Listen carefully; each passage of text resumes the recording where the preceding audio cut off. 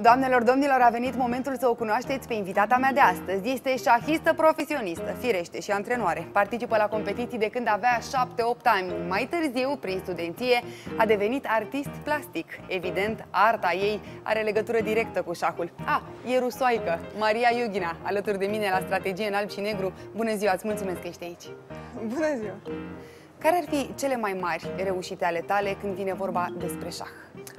Despre șah nu prea mult, pentru că eu las să joc șah când merg la institut, pentru că trebuie și lucrează.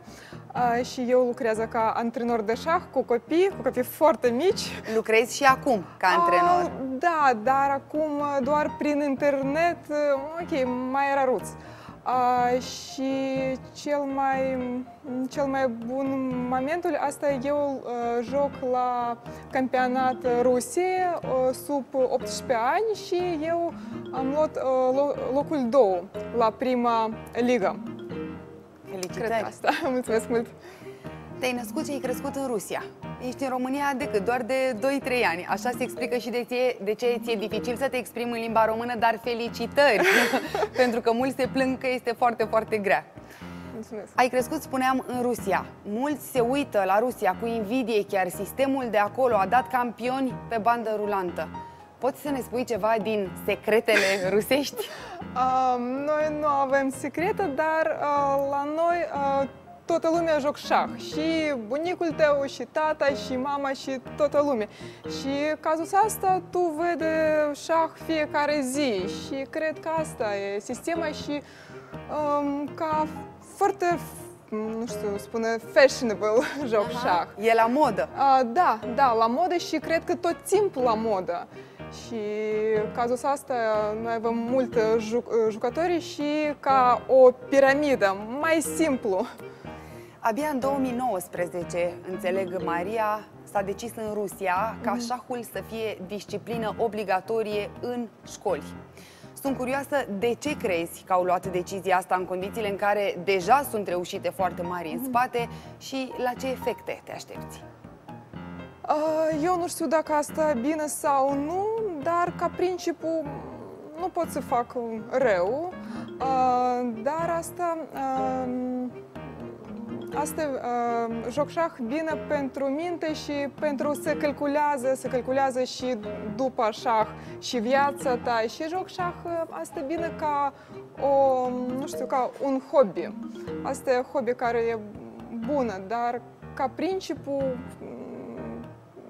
mai, cred că mai bine dacă asta nu e șah, mai bine dacă învață mai mult de artă, pentru, pentru că art uh, um, uh, mai bine pentru minte, pentru minte copilului, pentru că uh, uh, să-ți dai uh, E foarte interesant ce spui. Mai degrabă, din punctul tău de vedere, la școală, da. copiii ar trebui să aibă opțiunea de a alege să studieze mai multe arte a, de decât arte, șah?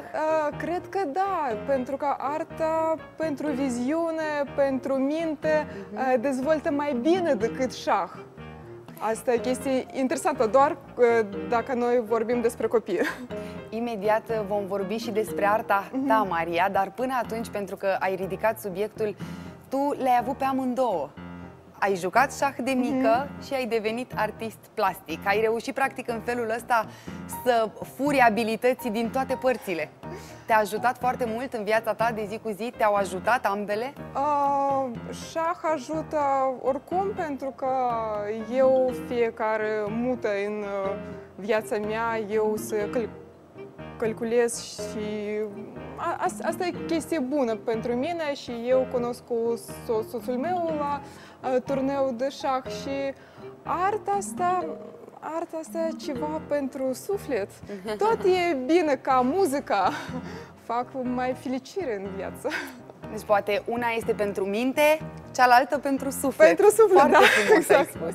Exact. Dacă ar fi, Maria, să dai un sfat unei copile, uh-huh. Uh, pentru copii uh, trebuie citesc uh, foarte mulți cărți pentru șah și don't give up niciodată.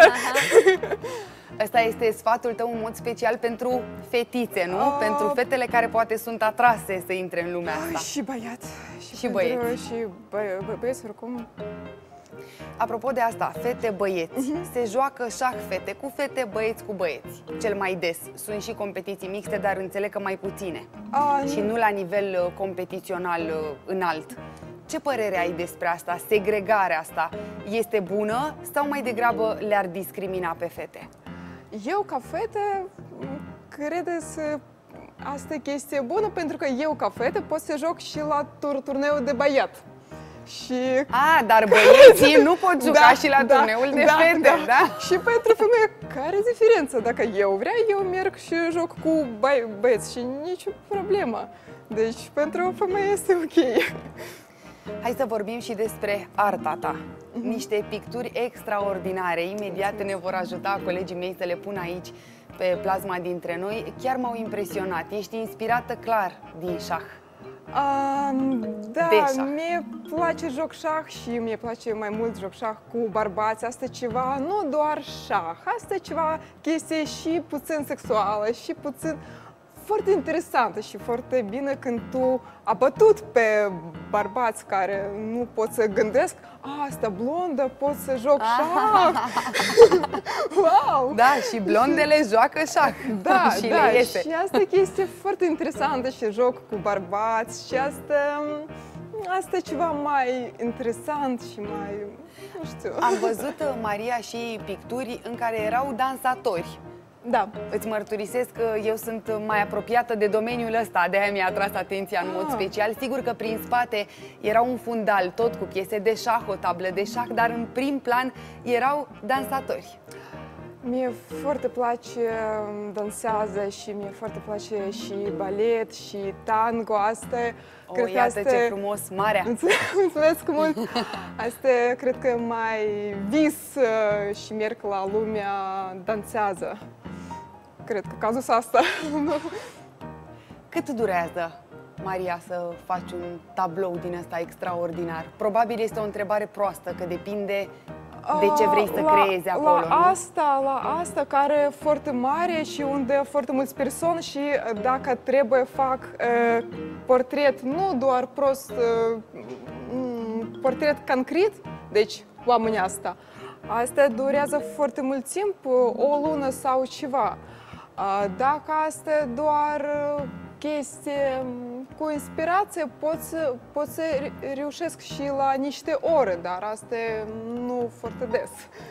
Înțeleg că mai antrenezi acum, dar cel mai mult ești artist, nu? Așa te simți. Da, da.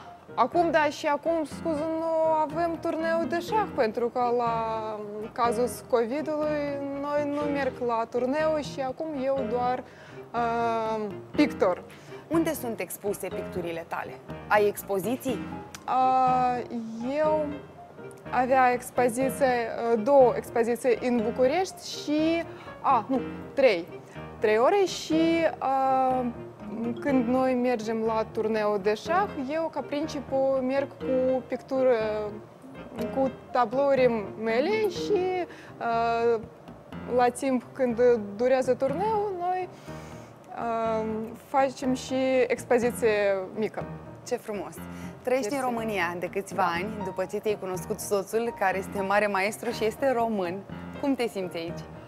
A, mai cald, mai cald, pentru că la Petersburg o, timpul foarte neplăcut și, Și mai, oamenii cum sunt? Sunt și ei mai calzi? mai relaxat, mai, mai mult relaxat decât la Petersburg și o, la Moscova.